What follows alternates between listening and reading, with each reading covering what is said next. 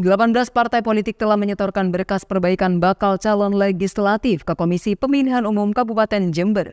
Selanjutnya, KPU akan melakukan verifikasi ke 18 berkas tersebut sebelum dinyatakan memenuhi syarat.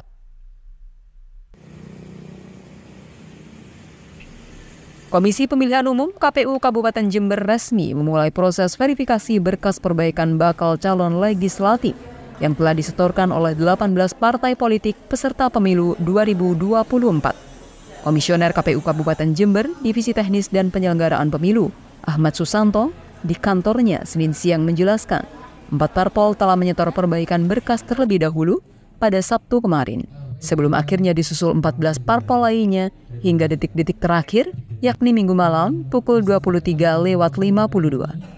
Susanto mengaku para parpol sempat terkendala oleh sistem informasi pencalonan atau silon yang membuat perbaikan berkas bacalek relatif terhambat. Selanjutnya, usai seluruh parpol menuntaskan perbaikan berkas bacalek, KPU akan memverifikasi berkas-berkas tersebut sebelum dinyatakan memenuhi syarat atau tidak memenuhi syarat. Apabila terdapat data ganda, KPU juga akan melakukan klarifikasi kepada bacalek melalui parpol masing-masing. Eh, kita akan melakukan verifikasi pada tanggal 10 eh, hari ini sampai tanggal 6 Agustus ya bulan depan seperti itu.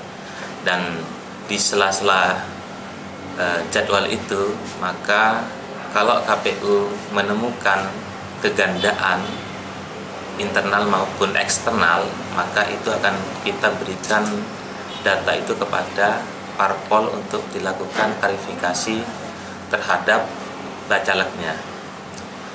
Berikutnya baru dilakukan klarifikasi terhadap partai misalnya ganda eksternal ya. Kalau ganda eksternal itu ada tiga unsur yang harus diklarifikasi. Yang pertama bacaleknya, yang kedua eh, partai A atau partai B yang ada kegandaan seperti itu.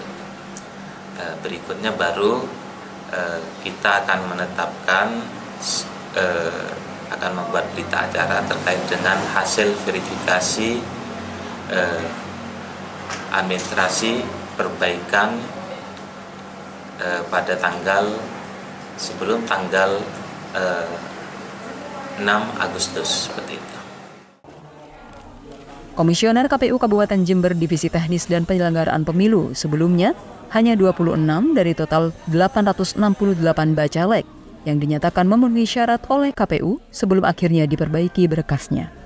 Proses verifikasi administrasi perbaikan berkas bacalek akan berlangsung sampai dengan 6 Agustus 2023. Dari Jember, Tepi Rohman melaporkan.